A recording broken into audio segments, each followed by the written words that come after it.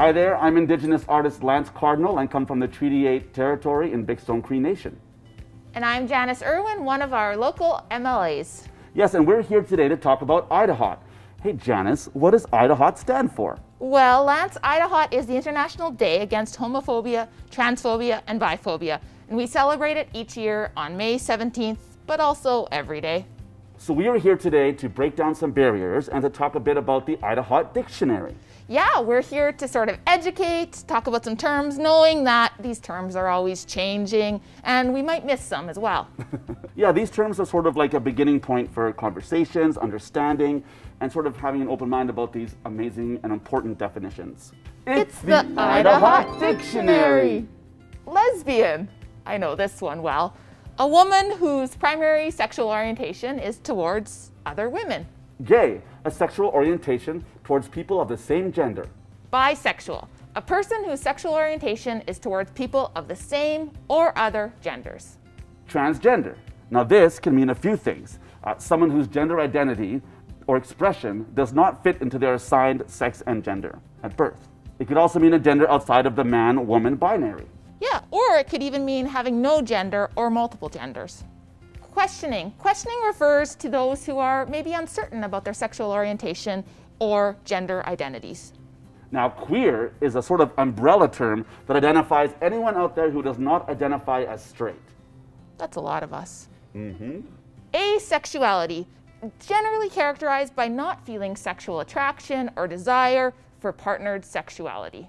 Intersex, people who, without medical intervention, develop primary or secondary sex characteristics that don't fit neatly into society's definitions of male or female. Two spirit. This is people, like myself, who have both female and male energy, and it's something that many indigenous communities use to define ourselves as queer people in our communities. Plus. The plus in the LGBTQ2S plus acronym is used to symbolize, to explain several different gender identities and sexual orientations that are not already in that LGBTQ2S plus acronym. Cisgender. Now, this is a term used to define people who, for the most part, identify as a gender they were assigned with at birth. Pansexual, someone who's fluid, someone who's attracted to all the sexes, all the genders. Ally. An ally is a person who's not necessarily a part of the LGBTQ2S plus community, but supports the community and the safety and all of our basic rights. Love us some allies, right? Absolutely. You talked about being an ally. It's really important uh, that folks have some ideas on how they can be an ally, because I get asked that question a lot you know, there's a few things that people can do. They can stay informed, they can stay educated, they can watch videos like this one, right? They can speak up if they're seeing injustice, if they're seeing homophobia, transphobia, biphobia, whatever it might be, speak out, shut it down. And they can support equality in everything they do, show that people deserve to be equal and deserve to have all the basic rights that the rest of society does.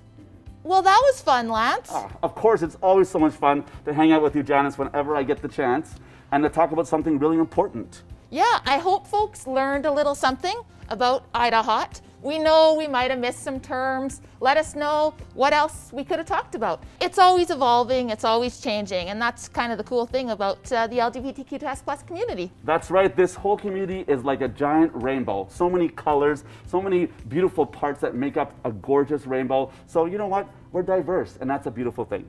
Absolutely. So thanks everybody for watching. We just want to wish you all a happy IDAHOT 2021. That's your Idaho Dictionary!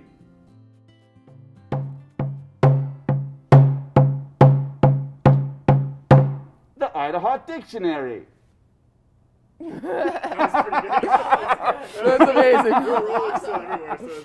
so good. Yeah. But yeah, I love this heart. I love this drum here. Just, I just absolutely, so um, you know, and that's why we're doing this today. It's all about love, right? And I love it. Finding ways to love each other more and um, and I love the fact that the drum is the heartbeat of Mother Earth. So, as a two spirited person, I always try to promote more love for our people and also for myself, which is so important for us as LGBTQ2S plus members, is to find ways to love ourselves a bit more.